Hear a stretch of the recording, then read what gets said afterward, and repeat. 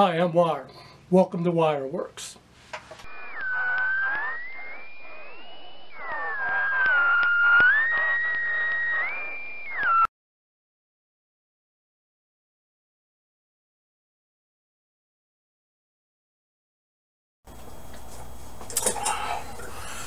Hi everybody, Wire here. I'm going to do something a little bit out of normal here. I usually don't do tool restorations, but uh, for the last month or two I've been uh, found a lot of uh, people on YouTube who restore uh, um, vintage tools. My favorite uh, YouTuber would be Scout Crafter. He does amazing things to uh, vintage tools. It's just I, I know I, I could never uh, top what he does to them. But anyway, um, what we're going to do is restore this vintage uh, ball peen hammer. Now, this ball peen hammer has a little bit of story to it. Uh, I don't know how old it is. I found this um, about 15 years ago um, when I was working uh, in the printing industry. Uh, uh, the people I was working for uh, was they bought a new press, a new six six color press um, that I, would be running when they got it. Anyway, the the printing business was in an old uh, mill. Uh, it was a cotton mill um, built uh, in the early 1800s. Um, now, um, what had happened was, um, what we wind up doing is this um, press was scheduled to come in probably within a month. So what we had to do is these uh, ceilings were like 25 foot ceilings. The mill was was um, made of stone, and the rafters were had 20, 12 inch beams across across it. So what we had to do is uh, in order to get uh, get ready for this press, we wanted to get all the dust and any cotton dust or sawdust or whatever had been accumulating probably for the last 150 years. Um, so we, um, what I did is we got a scaffolding built up um, high enough to where we could uh, go up there with uh, shop vacs and vacuum these rafters off. Well, about halfway through the um, the building, on top of one of the rafters, this uh, ball peen hammer was laying on top of it, covered in about an inch of dust. So what I did is I you know, when I got done, I took it down and I took it home. You know, it's pretty much all finders keepers thing. So I've had it uh, for 15 years. Don't know how how old it is, and maybe Scoutcrafter might be able to give me an idea on the age of this thing. I don't know. But anyway, I'm going to wind up uh, restoring it. Um, probably not going to do a complete um, restore Scoutcrafter does, but I will get this all cleaned up and um, maybe make it look as new as possible. So uh, let's get to this and uh, we'll um, see how it turns out. Be right back.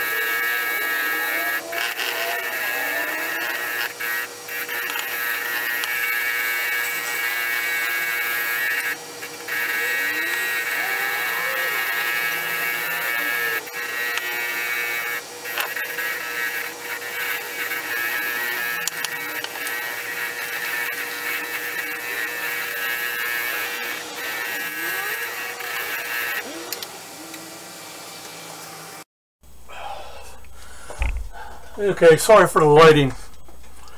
Uh, my fluorescent tube burned out about 10 minutes ago. Anyway, this is after on the after being put on the wire wheel. I, I only I use a brass wire wheel. Um, I'm going to have to give me a, a steel one, but it seems like it cleaned it up pretty good. Nice and shiny. Now uh, there is a crack in the handle here. I don't know how. The, the hammer's not loose.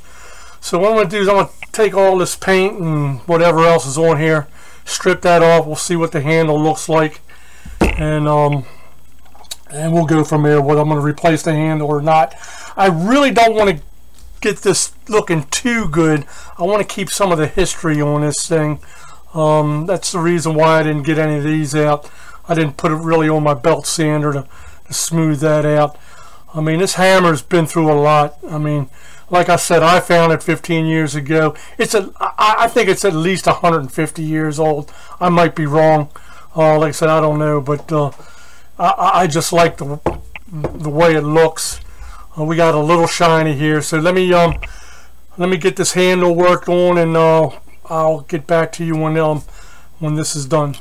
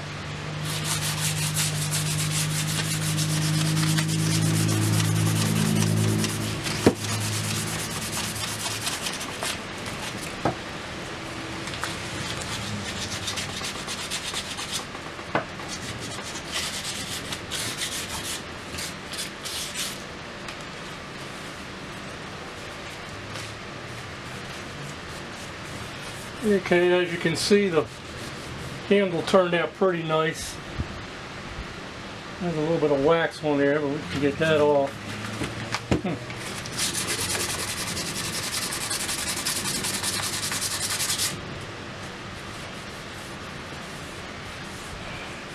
There is a little crack in here. I don't know if you can see it or not. It's right here. And it goes all the way through to here. But I just don't see it affecting this hammer. I mean, it's really nice and tight, and I really don't want to change the hammer. I'm not going to use this. I just want to, clean it up a little bit and put it in with all my old tools that I've been recently collecting. Um, so what I'm going to probably do is uh, stain this dark walnut and then I'm going to shellac it and uh,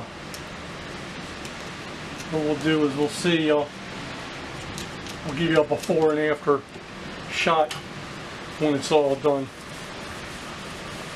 so uh, let me get my uh, stain all set up here and uh, we'll be right back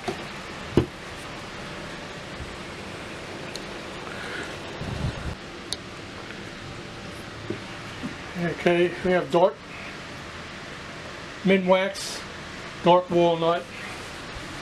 I apologize for the uh, for the lighting. I'm having lighting issues. I'm out on my patio. I usually don't do anything out here. Um, I I just have all my tools and everything out on my patio. So um, besides, the wife doesn't like the smell of paint on the inside of the house, so we come out here to do this.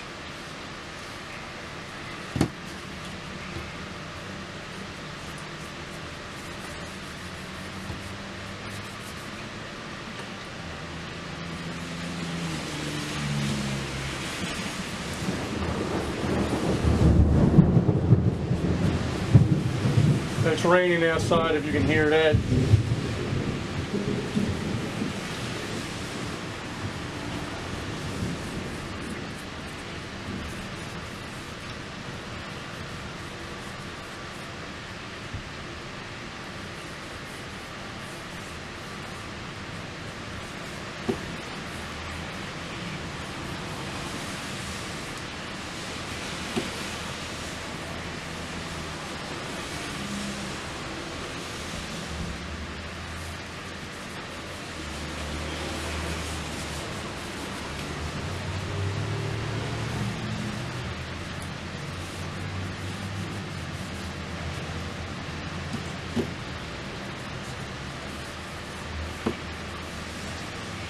Okay, this gave it not a real dark finish to it, but a little bit darker than what the, the original stock was.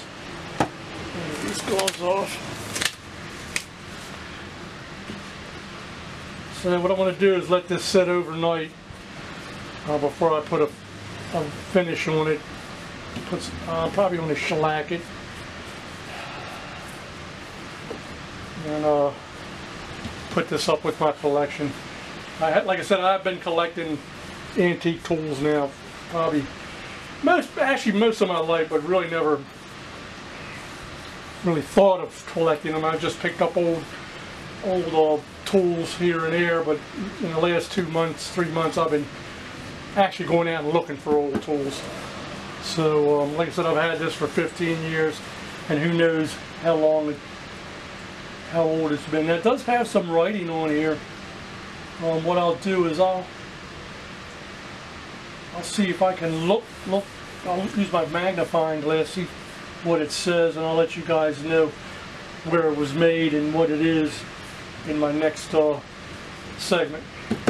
Anyway, guys, I'll talk to you later, and uh, next time you'll see this, I'll uh, have it all shellacked and uh, ready to go. Uh, thanks again. You're, this is Wireworks. Okay, here's the finished product right here. Um, I, I used a um, semi-gloss uh, polyurethane on this and it really turned out pretty nice. Um, like I said, I didn't, I don't know if you can see this. I didn't get any of these, these out. I didn't really didn't want to grind it down too much. I wanted to keep it as uh, original as possible. Now I did look, I don't know if you can see this or not, but there's some writing on here. Uh, it says for 16 and 20 ounces. And um, I don't believe this is the original handle that came with this. Um, it was probably put on uh, way after um, the original handle was on this thing. Um, this is all stamped in, so I just don't think that this hammer is old as I believe it is, um, only because of the handle. I, I, don't know. I don't know. I I just don't. Uh, I just don't know how old this thing is. Um, I don't know if this is an old Billings or what. I looked for some kind of maker's mark in the head and I couldn't find anything. Um, they just uh, the reason why I think is that this is just over 100 years old is the way this peen is made. They just don't make them like this anymore. It's more of a rounder edge nowadays. This is more of a pointy edge. So, um, I, I, don't know. I don't know. Anyway, this is going into my collection. Uh, I'm not going to use it. Um, it turned out fairly decent. So, uh, if anybody out there knows what kind of ball peen this is or who made it, I really would uh, appreciate that. You putting it in the comments anyway, uh, thanks a lot. And uh, if you liked the video, give me a thumbs up. And uh, we'll see what we'll do on the next one. Anyway, this is Wired Wireworks. Thank you very much. Have a good one.